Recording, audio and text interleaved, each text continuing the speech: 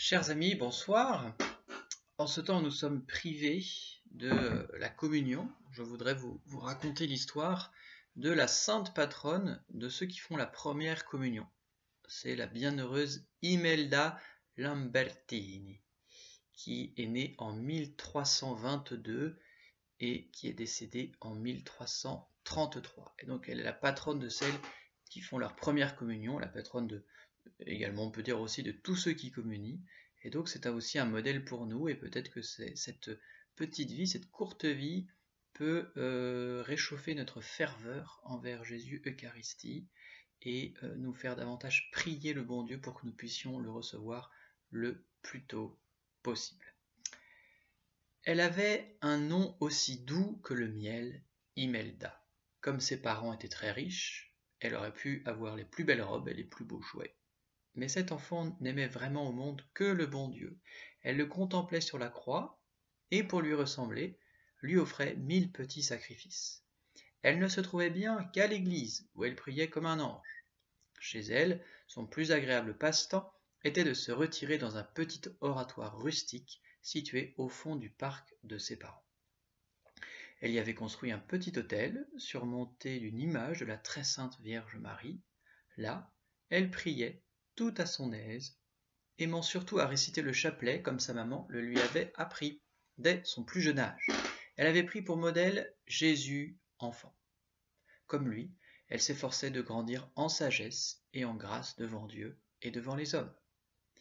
Pour vivre plus près de Jésus, elle finit même par obtenir de ses parents l'autorisation d'entrer au couvent.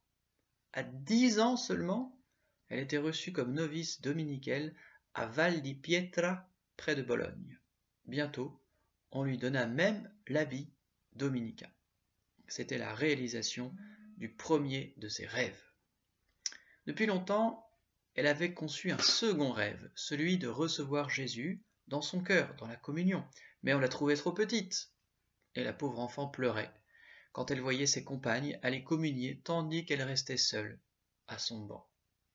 Un jour, elle résolut d'aller trouver son confesseur pour lui demander l'autorisation de s'approcher de la table sainte.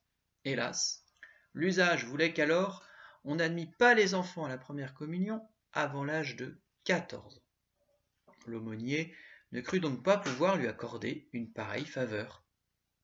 Imelda se soumit, mais son cœur fut brisé de chagrin. Cette rude épreuve durait encore quand arriva la fête de l'Ascension.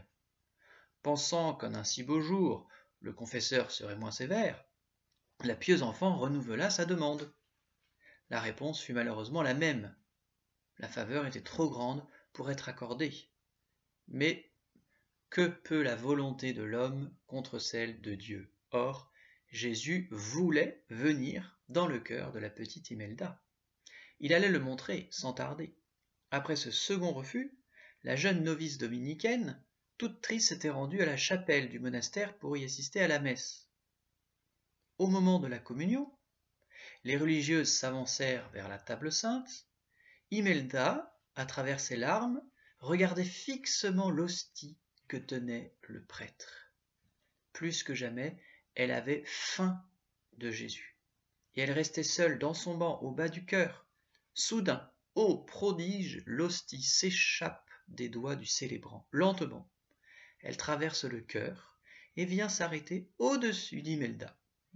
Pendant quelques instants, toute l'assistance reste saisie à la vue du miracle. Mais bientôt, le prêtre s'avance, tenant en ses mains la patène d'or. Doucement, la sainte hostie vient s'y poser.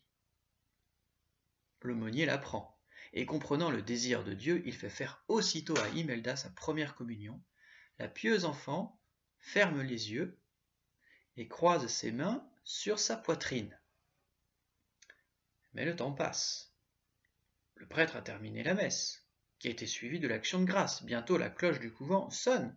Il est l'heure de partir. Les religieuses se lèvent. Imelda reste immobile à sa place elle, si obéissante d'ordinaire. On s'approche pour l'avertir, on l'appelle. Elle ne répond pas. Imelda, la petite amie de Jésus, ne peut pas répondre, elle est morte morte de bonheur et d'amour. Sa première communion s'est achevée au ciel. Depuis lors, Dieu a manifesté par de nombreux miracles la sainteté de sa jeune servante et le pape Léon XII, en la béatifiant le 16 décembre 1829, l'a proclamée patronne des premiers communions.